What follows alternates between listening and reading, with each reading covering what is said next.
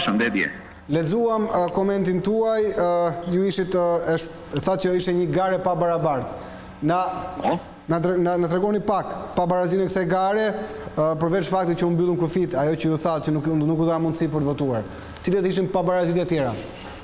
unë i kam deklaruar gjatë gjithë fushatës dhe denoncuar gjatë gjithë fushatës që në Gjirokastër nuk konkuronin partitë politike, Gjirokastër, e kam thënë që në fillim, gjithë Ministria e Brendshme, gjithë aparati i Ministrisë së Brendshme, gjithë SHKB-ja, gjithë krimi ekonomik, gjithë krimi policia kriminale ishte dislokuar në Gjirokastër.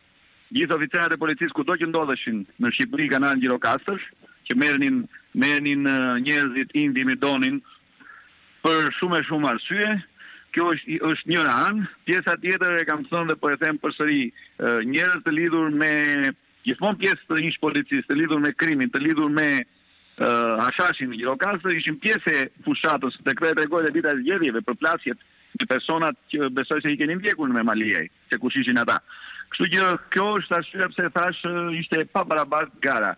Përveç faktit pastaj që tre mijë emigrantëve të mi iu mohua e drejta për të ardhur dhe për të votuar, ndërkohë që, po e theksoj, e kam denoncuar dhe në prokurori, ndërkohë që emigrantët që kanë ardhur edhe pse të paktë në numër, por kanë ardhur për Partinë Socialiste janë lejuar të lëvizin të lirshëm dhe të votojnë, i kam me fakte, i kam me emra, i kam me fakte. Dhe jo vetëm të votojnë, por të ishin dhe anëtarë të komisionit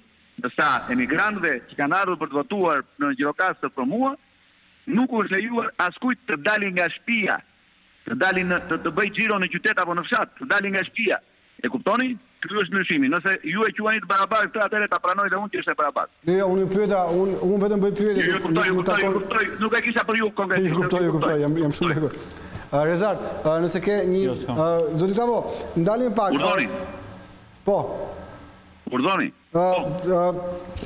Pyetja kryesore është, a do ta njohë LSI-ja këtë rezultat, apo do bëni ankimime, do prisni përfundimin e saj? Dëgjoni, dëgjoni, dëgjoni, unë, unë personalisht nuk kam për të bërë asnjë ankimim se s'kam kujt t'i ankohem dhe kujt t'i drejtohem. E kuptoni besoj se kush janë strukturat sot që do marrin në shqyrtim ankimimin tim. Kaq.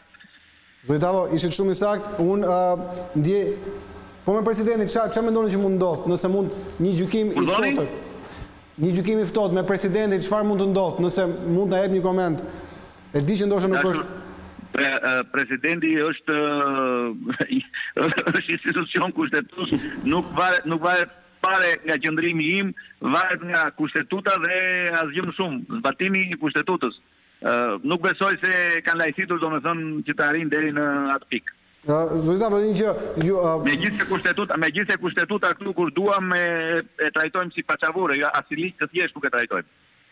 Ok, shumë e saktë. Zoti Tavo, dhe një gjë, morëm vesh se zoti Tritan Shehu ishte takuar me me kandidatët e Partisë Socialiste, ju u takuat me ta mbas përfundimit të numërimit?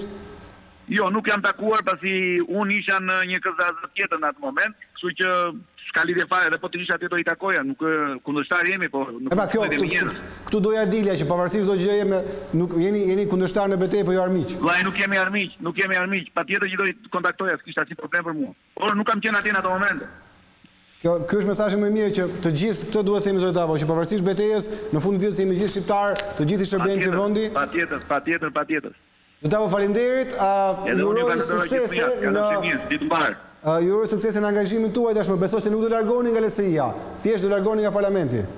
Nuk do jeni më pjesë. Unë nuk do largohem nga politika, është shumë e saktë kjo që thatë. Absolutisht jo nuk largohem. Okej, shumë faleminderit edhe një herë. Kontributi im është shumë shumë i vjetër domethënë është njëzet e pesë vjeçar. Okej, shumë shumë. Dhe jam i ri akoma për t'u larguar. Faleminderit, gjithë të mirat, kalofshi mirë, ditë të mbarë. Faleminderit edhe ju.